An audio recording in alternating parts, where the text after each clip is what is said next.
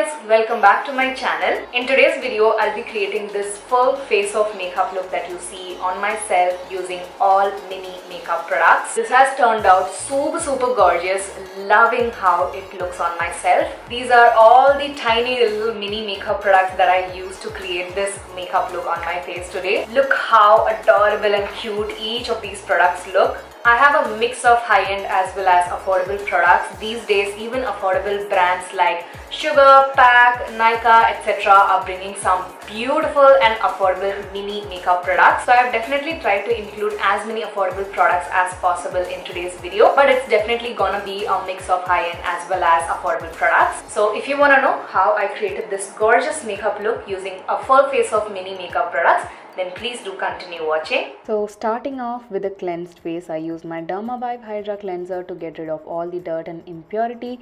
This is an amazing cleanser even if you have sensitive skin types and it maintains the pH level of your skin. Then to prep and moisturize my skin, I'm using my Neutriderm Vitamin E Moisturizing Lotion which is really nourishing and acts as a beautiful pre-makeup base and applying it all over the face and neck and let it sink for a bit before I apply any foundation or anything like that. Then I'm gonna take my um, cute little mini eyebrow definer from Colorbar. Uh, I think this is in the shade chestnut and it is a very very well pigmented product as you can see here. So a little bit goes a long long way but it's such a great affordable eyebrow product and I'm just combing through my brows here. Trust me the eyebrows will get better by the end do not worry.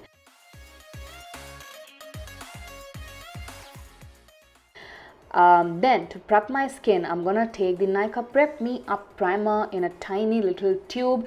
I think Nykaa had released this very very recently and it really caught my eye so I bought it because this is such a lovely primer especially if you have an oily skin type. It does make your makeup last pretty pretty well and creates a very smooth and even canvas. So I'm applying the product and gently tapping into my skin so that it fills in all the open pores. For foundation, I'm using a very um, recent favorite foundation. This is the Smashbox Hydra foundation, I think it's called. This is a tiny little version and this is in the shade 4.0 which is an exact exact match to my skin tone. So I'm applying a little bit of the foundation all over the face, literally all over the face because I did not use any color corrector. So this is just gonna uh, even out my skin tone and help it look more flawless. Then I built up the coverage to get a desired coverage and this is how beautiful and flawless my skin looks after the foundation. For concealer I have this uh, Tarte Shape Tape Mini Concealer but unfortunately this is in a very very pale shade. I think it's called Light Sand so I'm just dotting a little bit of that concealer on the under eye and wherever I usually highlight and also on the eyelid region to slightly darken it up, I'm taking my foundation again and putting that right on top of the lighter shade of concealer just to balance everything out and so that the concealer doesn't look too white or ghostly on my skin because this is such a light shade of concealer for my skin tone. And then I'm going to blend it out using a concealer blending brush. Again, the Tarte Shape Tape is a very, very high coverage product. So a little bit goes a long, long way. And yeah, I'm just trying to blend everything out until everything looks super flawless and seamless. And I kind of forgot to apply this eyeshadow primer before so I'm gonna apply the Smashbox 24 hour eyeshadow primer on the eyelids and just tapping it um, on top of the eyelids to add a bit of subtle sheen on the skin, I'm going to take the Charlotte Tilbury Hollywood uh, Flawless Filter in the shade 6.5 Deep. This is a beautiful, very, very soft, um, glowy kind of a product. So I'm just putting that only on the high points of my face and gently and slowly blending it out. You can also apply it before your foundation underneath. That way also it reflects a lot of light and gives your skin a beautiful healthy looking glow. Then to set everything in place, did you know that PAC made these tiny little um, translucent powders? This is in a banana shade. Look at the difference um, in size. So I'm taking a generous amount of the banana loose powder and putting that on the under eyes and to bake around the mouth area and also a little bit on the inner cheek region. For eyeshadow, I'm using the Huda Beauty Nude Rich Mini eyeshadow obsessions palette you know what i mean. So i'm picking up the beautiful rosy matte shade on a blending brush and putting that on the crease. These mini eyeshadow palettes from huda beauty are amazing. They are such great in quality. They are the exact same quality as their bigger palettes but in a smaller little um, packaging with a limited amount of eyeshadows but they are great great eyeshadow palettes very well curated. Then i'm going to take a darker shade of brown and putting that on the crease as well as the outer corners of my eyes. Then i have this very cool uh, little product from Nykaa. This is their mini lip and um, eyeshadow thing. It's a liquid uh, product. I don't really remember the name of this product. I'll put it in the description box. But what I did was I just applied it at the outer corner and blended it out. Then I took this beautiful uh, pink shimmer eyeshadow from the Huda Beauty palette and applying that using my finger on the eyelids and then to top it off I'm using the MAC um, loose pigment in the shade rose which is a duochrome kind of a pigment. It has pink and golden shift to it. And again this is a tiny version.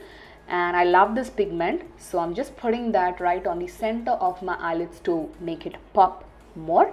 Then I'm going to take this very beautiful deep cranberry blackberry kind of a shade again which is a matte shade and putting that very very close to my upper lash line using a pencil brush then I took the Smashbox Always On Gel Eyeliner Kajal in a black shade this kajal pencil is much more pigmented, long lasting, dark and intense than the MAC tiny kajal that you get in the market. They are almost the same price but I prefer this one more because it's more pigmented and jet black. So I put that on the uh, waterline, on the lash line and on my upper lash line very very slightly, just a slight definition and again I'm going to smudge it out using a pencil brush. Once I'm happy with the eye makeup work, I'm just going to brush off the excessive loose powder on the under eye and on the rest of the face as well and I'm setting the rest of the face as well using the same translucent loose powder just to mattify it. Then for mascara, I'm using this amazing mascara from Too Faced. This is not their uh, Better Than Sex mascara. This is their Damn Girl mascara which is really really nice. Even better than the other uh, Too Faced mascara. Look at how uh, much of volume and definition it gave my lashes. So I'm just trying to build up the volume. I did not apply any falsies for this look. And you can see for yourself here that how much of a volume and definition these um, this mascara has given my eyes I absolutely love this then to bronze up my skin, I'm going to take this cute little mini bronzer from the brand Glowish by Huda Beauty. This is in the shade Deep Tan. I love this product. It's a beautiful glowy kind of a bronzer but it doesn't have any shimmer particles to it. It just adds a subtle little sheen and glow to the skin. So I'm just putting that on the perimeters of my face, on the sides of the nose and also under my lower lip. For blusher, again I'm using the Glowish by Huda Beauty mini blusher and this is in a berry shade very well pigmented and again a beautiful glowy product. So i'm just putting that on the apples of my cheeks. This kind of um, acts as a blusher and a blush topper in one because it's a glowy product. You can see the sheen on my cheeks as well. And for highlight i have two different options from becca. Uh, one is opal and the other one is champagne pop but i chose the shade champagne pop which is my all-time favorite and it is completely shattered and broken I tried to fix it a couple of times. It again became broken. So I'm just putting that on the all the high points of my face and also on the inner corners and my brow bone. Moving on to the lips, I'm taking this tiny little mini lip liner from Colorbar. This is the shade chocolate and it's a beautiful deep warm chocolatey brown shade and the formula is also amazing very creamy and rich and pigmented so I'm trying to overdraw my lips. There are multiple options for lipsticks when it comes to minis. A lot of high-end brands have it but also these days a lot of affordable brands are also bringing up mini. For example the PAC one this is the retro matte mini uh, liquid lipstick in the shade broken heart which is a beautiful beautiful uh, muted reddish uh, pink kind of a color so I just put that all over the lips then I took this very very cute Lakme matte melt liquid lipstick in the shade um, brown souvenir which is one of my absolute favorite lipstick shades for dusky skin tone I'm just using that on the top of my lips to just mute down the previous color. Sugar Cosmetics, Nykaa, all these brands also make amazing mini liquid lipsticks. Do check it out. And for lip gloss, I took my Too Faced Lip Injection Extreme Mini and here you will see the difference of the uh, full size as well as the mini product. I love this product um, as a lip gloss on my lips all the time so i'm just putting that only on the center of my mouth. It literally makes my lips go double in size within just a couple of minutes. I absolutely love it and it is very very high in shine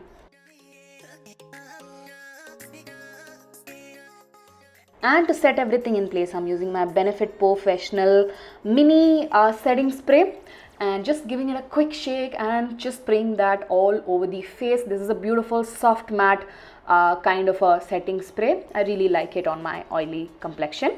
And here is the final finished full face of makeup look using all mini makeup products and this is a proof that even when you use mini makeup products you can create a full face of glam because I quite loved the finished makeup look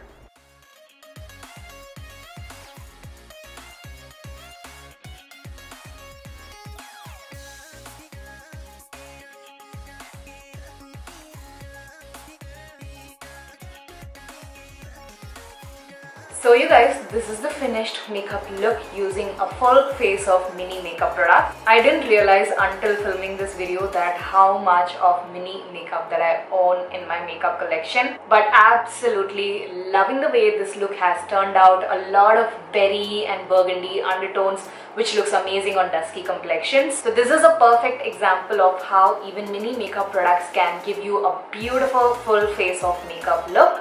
So this is it for today's video. I'll try to link each and every single product that I use in today's video in the description box down below. I really really hope that you guys found this video useful, helpful and enjoyed watching it.